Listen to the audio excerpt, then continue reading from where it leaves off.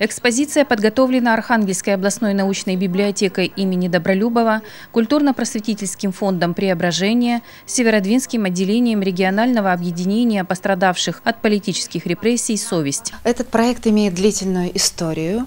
Он стартовал в феврале 2011 года э, в Москве.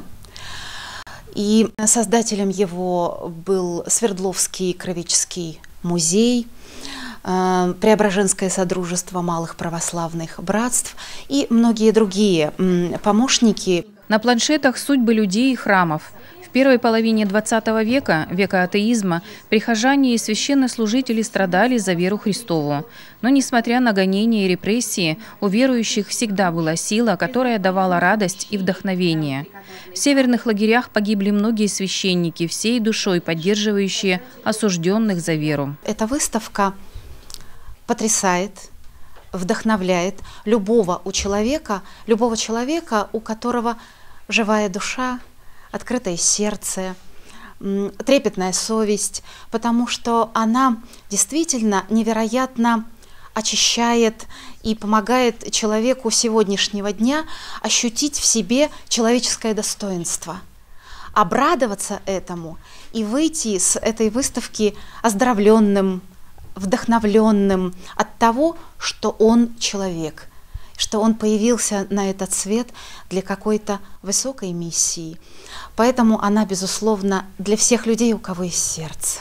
Выставка экспонировалась в Северодвинске, Архангельске и Вельске. Новодвинск – четвертый город, в котором представлен проект «Неперемолотые». Но пока нет раздела, посвященного нашему городу. Новодвинск уникален в том плане, что здесь в середине прошлого столетия жили российские немцы.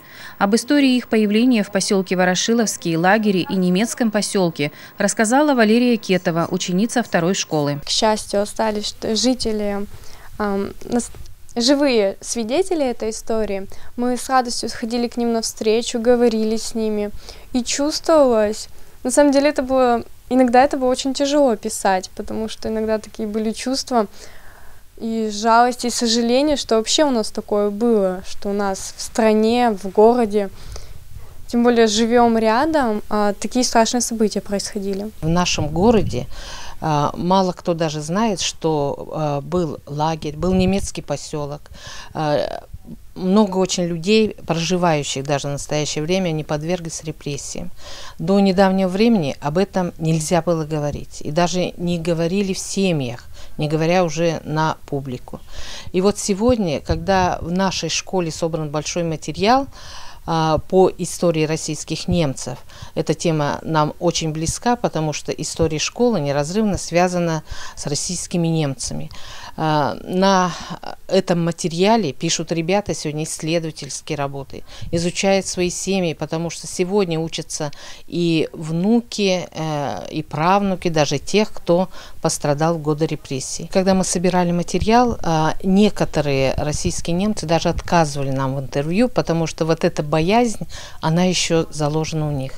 А другие, вот мне очень э, такие слова запомнились Гильды Рудольфовны Духович, который говорит, но мы-то э, не, обоз, не обозлились, как бы, что мы, э, душа-то у нас не зачерствела, было такое время, просто она говорит. Пережили очень много, конечно, но это время – это история. Валерия Кетова считает, что в Новодвинске должен быть памятник погибшим российским немцам и всем репрессированным.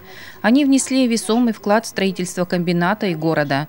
Новый памятник жертвам политических репрессий станет данью памяти и уважения, в том числе и для этих людей. Эскиз памятника готов. Если вы захотите поставить подпись, согласившись с тем, что нужен памятник в городе Новодвинске, нужно прийти в школу номер два в музей. Выставка «Не перемолотая» проходит в городской детской библиотеке по адресу улица 50-летия октября, 43А.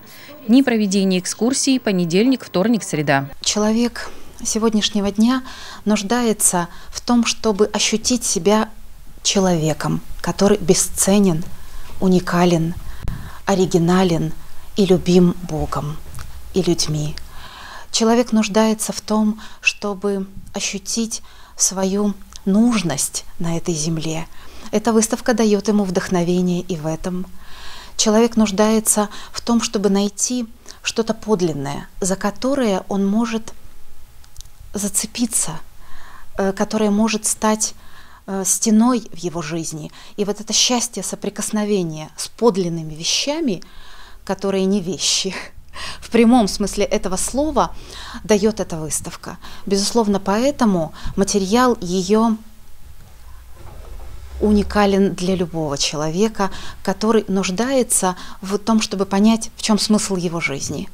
Его можно найти здесь. Марина Муталипова, Александр Пичугин, Норд ТВ.